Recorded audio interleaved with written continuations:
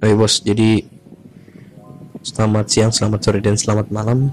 Karena ini gue akan bikin review ya tentang Redmi 7A ini. Jadi HP ini gue baru beli sekitar seminggu yang lalu mungkin.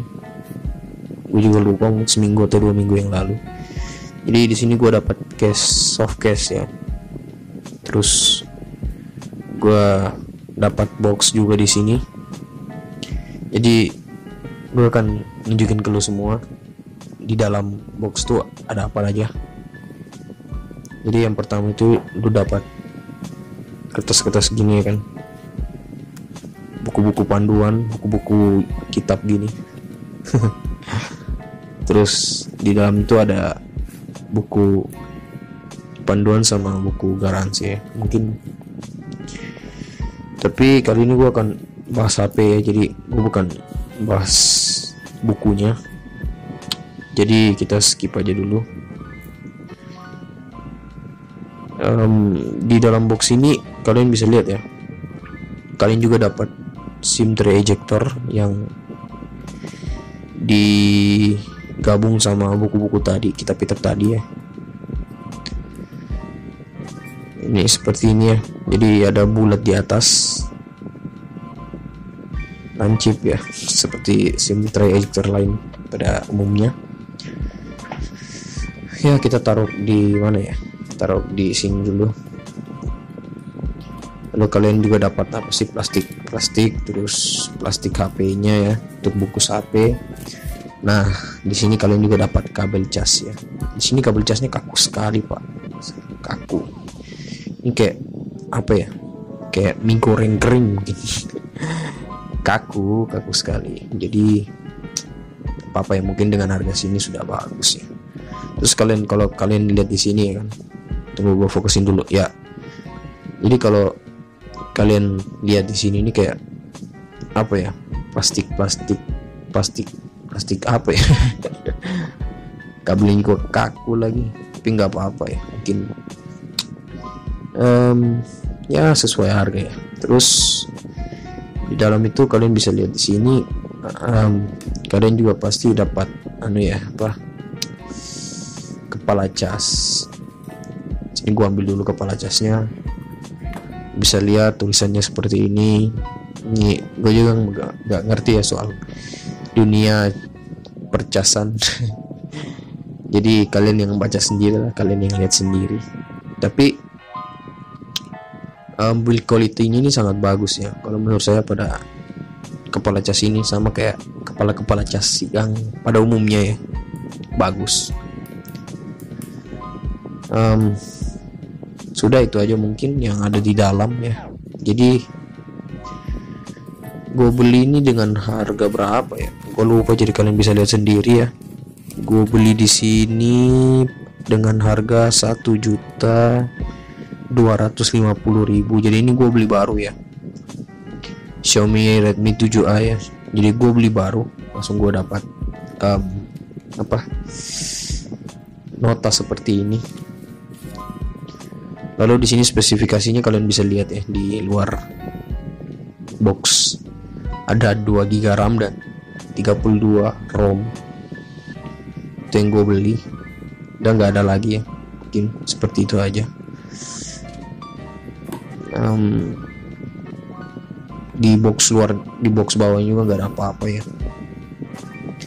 Jadi kita masuk langsung aja ke HP-nya seperti ini HP-nya kalian bisa lihat. Sini gue beli udah dikasih langsung sama anti gores. Sama softcase bening tadi. Tapi kalau gue lihat sih bagus ya. Keren-keren. Terus di bawah ini ada apa ya lubang speaker sama lubang untuk mic. Tapi sayangnya belum type C ya belum type C masih biasa. Terus di samping kanan ada logo tombol volume sorry tombol volume tombol um, power. Enak ya cuy di genggaman itu enggak enggak kebesaran enggak kecilan tapi enak. Lalu apa ya di samping kiri ini ada untuk SIM card ya. Slot SIM card. Terus layarnya ini bagus ya jernih sekali menurut saya. Terus bagian di bagian atas ada lubang earphone sama lubang apa yang gue nggak tahu juga nih lubang apa. Terus ya di bagian belakang ini cuma dapat satu kamera sama satu flash tapi dengan desain yang bagus ya menurut saya. Ini bodinya ini dari plastik ya guys. Jadi kalian bisa lihat aja lah kalian nilai sendiri bagaimana apa bentuk dari um, case eh case lagi. Jadi kalian bisa nilai sendiri bentuk dari HP ini bagaimana. Untuk kebutuhan sehari-hari sih HP ini sangat bagus ya menurut saya. Dengan harga yang yang lumayan terjangkau juga ya satu juta 1,2 ya udah dapat semua. Terus sensitif layarnya ini kalian bisa lihat sendiri kalian bisa nilai sendiri. Um, kalau menurut saya sih agak apa ya kurang responsif sih. Cuman scroll atas ini sih untuk buka Instagram WA ya kan. Penting lu nggak buat HP tempur setempur setempurnya kan jadi masih bagus. Jadi HP ini gue gunain juga baru seminggu dua minggu jadi jadi gue belum explore lebih dalam tentang HP ini. Kalau buat nonton YouTube sehari-hari mungkin apa ya uh, enak sih. Jadi gue pakai biasa nonton YouTube. Cuman gimana ya di HP ini tuh kayak ada nggak full layar cuy. Gue juga nggak tahu kenapa. Tapi di sini kalian bisa lihat ya sebelah kanan dia nggak full layar sampai ke bawah ada garis hitam gitu. Garis hitam. Kalian bisa lihat ya ini. Mungkin karena untuk tombol backnya muncul atau bagaimana saya juga nggak tahu. Tapi dia nggak full layar cuy. Jadi yang nanti gue explore lagi ya lebih dalam bagaimana sih kalau gue bikin full layar tanpa munculin tombol backnya gitu. Jadi nanti gue coba ya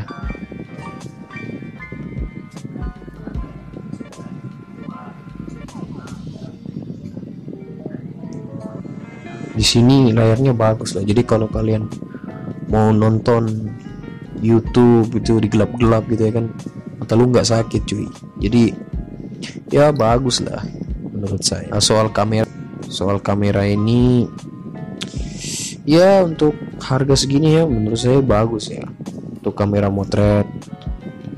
Kalau lu mau motret cepet-cepet gitu ya kan di sini gua akan potret apa ya cas casan batok cas HP nanti gue akan lihatkan ya bagaimana hasil hasil dari kamera ini dari kamera HP ini.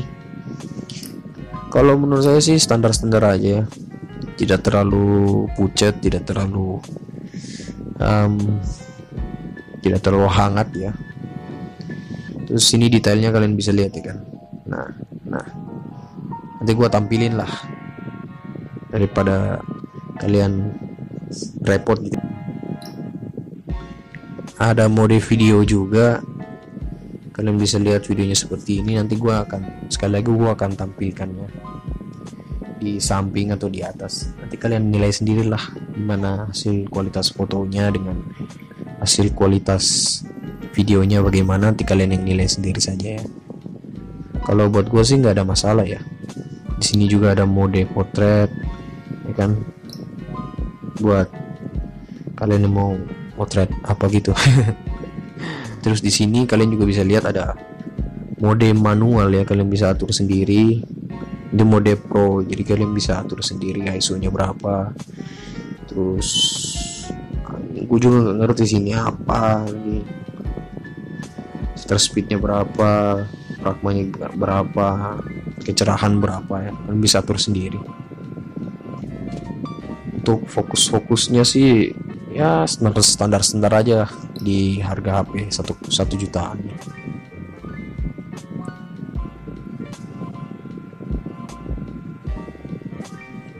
Terus di mode HDR kalian bisa lihat di sini ya. Gua motret dulu ya pakai mode HDR nanti. Gua tampilin di layar bagaimana perbedaan mode HDR cuman kalau gue lihat di sini cuy eh, mode HDR ini dia agak pucat ya jadi tangan tangan gue di sini langsung jadi pucat. Atau kenapa ya tapi tangan gue di sini jadi pucet lebih bagus um, mode biasa ya. Kalau kita pakai HDR di sini jadi pucet tangan lu nanti. Nanti jadi kayak orang kurang darah lagi. Terus di sini juga kalian bisa apa ya pakai efek-efek ya kan? Filter-filter warna gitu ada biru kalian bisa pilih bebas lah di sini. Dia nggak nggak sepro pro HP HP di atasnya ya. Memang ya standar standar aja ya. Um, untuk bodinya sih memang bagus ya. Kalian bisa lihat sendiri kalian bisa nilai sendiri ya body belakang ini bagaimana nih menurut kalian kalian komen lah di bawah. Tapi untuk body plastik sih bagus ya. Birunya itu biru biru bagus ya. Tapi sayangnya di bawah ini belum type C. Kan belum belum terlalu modern sih. Masih tipe apa ya? Yang penting belum type C lah gue lupa. Namanya tipe apa lagi? Tombolnya begini enak di genggaman. Ya besarnya segini ya kalian bisa lihat. Itu kan. Tapi untuk pemakaian satu tangan sih menurut saya aman-aman aja ya jadi gimana nih pendapat kalian cuy tentang HP ini? Kalian komen lah di bawah. Kita sama-sama bagi opini ya kan? Jadi mungkin video kali ini sampai di sini dulu. Gue bos Mio cabut. Sampai bertemu di video selanjutnya dan bye